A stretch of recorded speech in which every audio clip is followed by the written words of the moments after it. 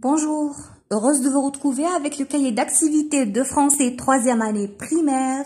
Aujourd'hui, ça va être la page 27. On va faire, c'est-à-dire et voir des activités sur la lettre P.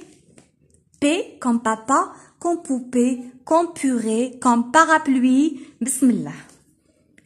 Premier exercice, je colorie le dessin quand j'entends P. Une poire. P, poire. Voici le P. Cet oiseau, alors soit un perroquet, et on entend le P, soit c'est une perruche. Et on entend aussi le P. Donc, dans les deux cas, il y a le P et on colorie ce joli oiseau. Cette image représente une banane. Banane, pas de P. Voici une porte. Porte avec un P qui se voit très bien au début du mot porte. La porte. Voici un tabouret. Le tabouret ne contient pas de P. Le fruit. Ce fruit est une pomme. Pomme. La pomme commence avec le P. Et voici notre jolie poule qui a pondu ses œufs. Poule, une poule. Voici le P. La dernière image représente un poisson, un joli poisson, un poisson. P, P, un poisson. Merci. Deuxièmement, voici les P.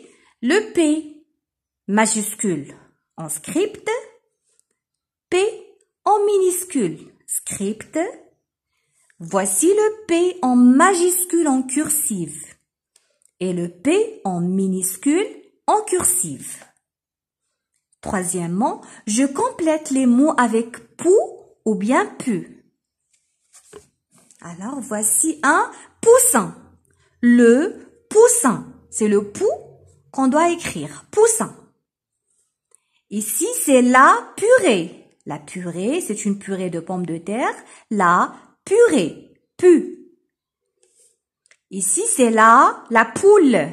La poule. Pou. Ici, c'est la punaise. La punaise. Pu.